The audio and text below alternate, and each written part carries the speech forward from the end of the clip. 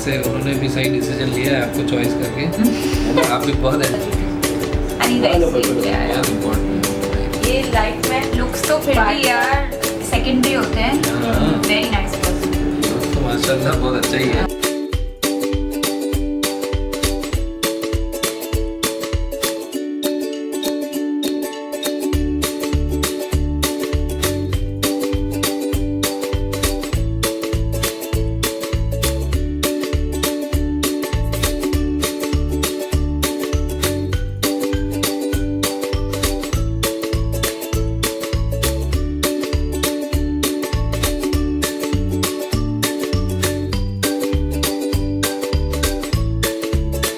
Look like a total princess that is like golden golden makeup हो रहा है Kalpesh? Yes हमारी दुल्हन को बना देंगे प्रिंसेस हाँ that's the thing. आज भी कल्पेश सलमान ने बोला कि इनको काला टिक्का लगा तो कहता मैं काला टिक्का लाइट तो उनको बना दूँ पहले। तो अभी काले टिक्के लाइट बन रही हूँ।